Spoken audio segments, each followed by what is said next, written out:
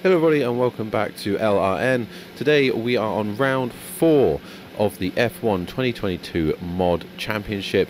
Today we are at Monza, still in the Mercedes of Lewis Hamilton, looking to take back our lead in the drivers' standings from the Ferraris of Sainz and Leclerc. Sainz currently leading the way in the drivers' championship by just three points from ourselves and one point from his teammate Charles Leclerc, which does mean they are leading the Constructors' Championship after our teammate George Russell has somewhat dropped off a cliff in the last couple of races and disappeared. So hopefully he can pick his game up um, as we look into today's episode and race.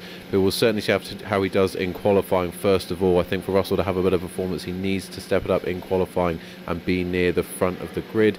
We did see early in the season that there was the pace in the Mercedes for him to do that, but I'm just not confident at the moment that he's going to be able to deliver for us on the day. So here we are then into qualifying over the line as we begin our qualifying lap. This time remembering to put on the soft tyres to make sure we get as fast a lap as possible and aiming, uh, if possible, to get as close to the Ferraris as we can so that we can really take the race to them during race day on the Sunday.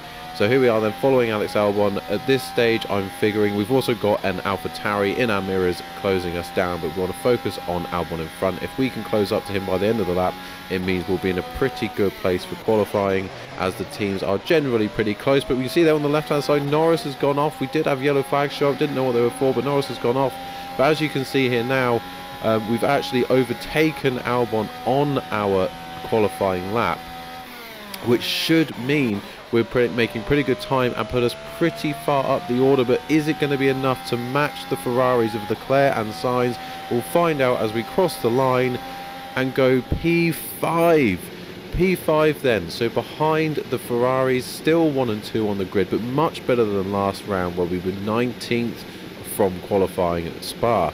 So definitely a much better performance from us today, but Leclerc and Sainz still 1 and 2 on the grid.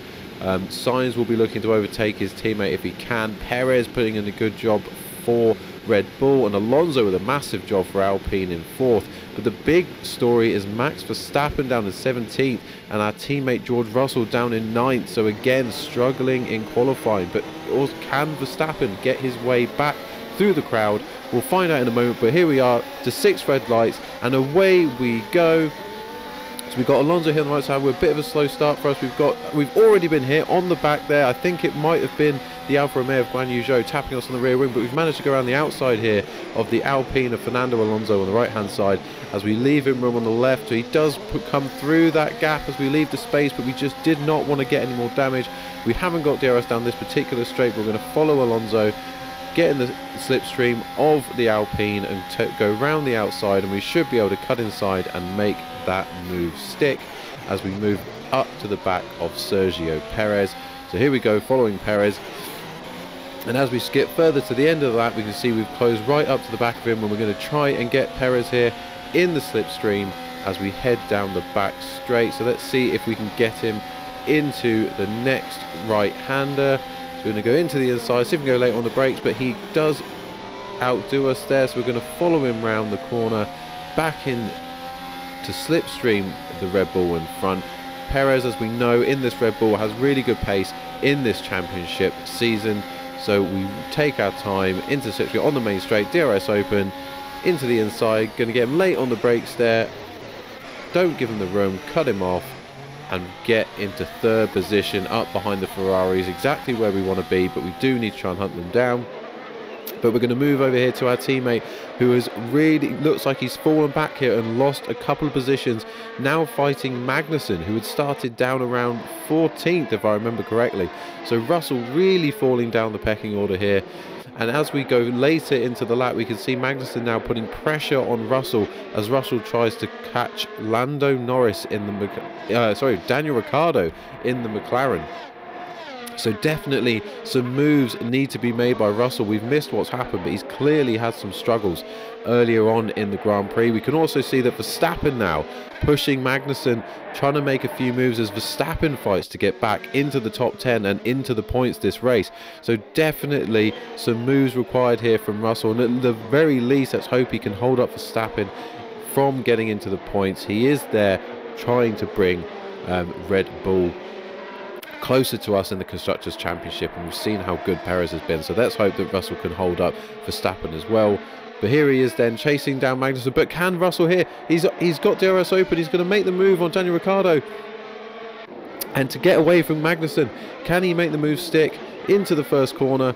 He covers off the McLaren of Ricciardo and gets that move done. But can he move away? But as we move to the end of that lap, we see that Magnussen is actually overtaken um, the McLaren as well. So end of the next lap here, Verstappen's actually made moves at this point. We've missed the moves by Verstappen. He's cleared Russell and moved right down the road. And now we're in a position where Magnussen is trying to chase down Russell yet again. So despite the move gained on the McLaren of Ricciardo by Russell, he's now lost a position to Verstappen and it just looks like Russell must be quite slow because Verstappen's already made a significant gain in just a lap. He's pulled out a massive, massive lead there on Russell. As you can see here, back to our game, we're still trying to close down the Ferraris of Sainz and Leclerc. The gap just doesn't seem to be shrinking. The pace those Ferraris have in this season just seems to be too strong for our Mercedes at this stage of the season and it does appear at this stage of the race that they will be closing out that constructors championship because I do not think we'll be able to catch them in the constructors at least um, with the performance we're showing today but here we go then, back to Russell as he continues to try and defend against Magnussen. Not even in a points position this race, but our teammate trying as hard as he can to fend off the Haas of Kevin Magnussen. Will he be able to do it down this straight? We see them drag racing here. Magnussen DRS open, trying to make the move stick on Russell, but Russell does seem to have the pace to come back alongside the Haas.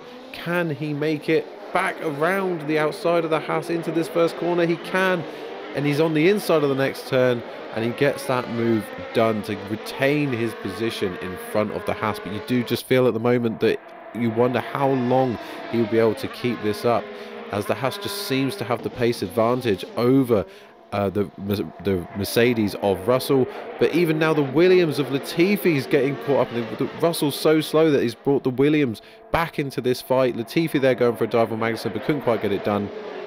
And we now go to the end of the lap and we've now got uh, the Haas of Magnussen back up the rear of Russell. Can he get the move done this time as we head back down the main straight?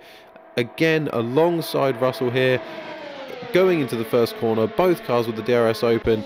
Can Magnussen get the move done on Russell this time? Hopefully, Russell can find a way, as he did before, to go around the outside. Yeah, he has a Magnussen on the brakes, wasn't sure where to turn in, not taking the risk of any more damage to his car um, with Russell turning into that first corner. So doesn't quite get the job done on that occasion. We are still here now on lap six, chasing down the Ferraris, just not able to make the gains we, we wanted on Sainz and Leclerc. As you see, the gap really not changing. We have managed to open a gap for Perez behind, but that's just about it. And as we head back here to check on the fight between Russell and Magnussen, we can see that Magnussen again closing up to the back of Russell here, but this time on the back straight can Magnussen get the job done early so that he goes into that first turn already ahead of Russell? He's going to go for the move on the inside here. Can he do it?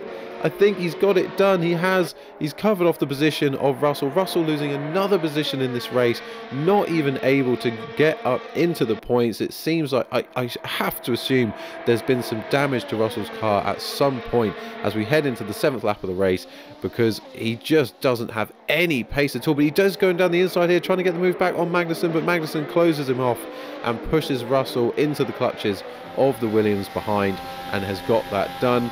And as we say that, we've come to the end of the race because we were just were not able uh, to get the job done catching the Ferraris of Leclerc and the Sainz.